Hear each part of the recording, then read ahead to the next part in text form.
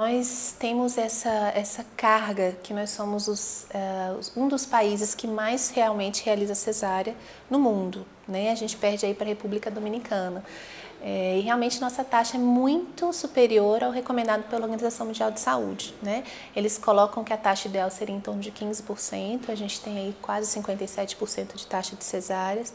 Existem basicamente três causas, eu digo. A causa do médico, né? realmente a gente ainda vê que há alguma praticidade para o médico agendar a cesárea, existe realmente uma praticidade de, de se colocar um horário, um período e não ficar 12 horas acompanhando um trabalho de parto. No parto normal, a gente não tem tanto controle sobre o parto em relação ao parto cesáreo, então a gente tem alguns medos em relação aos riscos que o parto normal possa causar.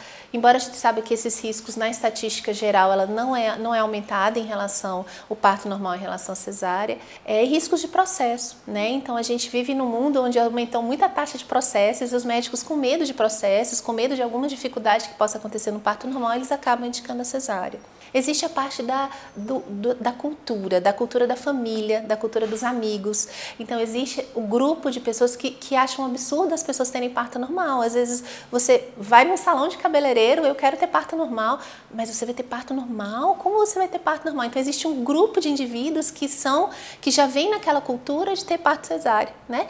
E a própria paciente. A paciente, muitas vezes, ela já aprendeu com a mãe que fez parto cesárea e ela acha que a dor do parto normal é muito grande, que ela não vai aguentar, que ela não vai ter acesso aos métodos possíveis farmacológicos ou não farmacológicos para alívio da dor e ela se sente incapaz de se submeter ao parto normal. Então a gente tem que mudar toda uma cultura para que a gente consiga realmente reduzir esses níveis.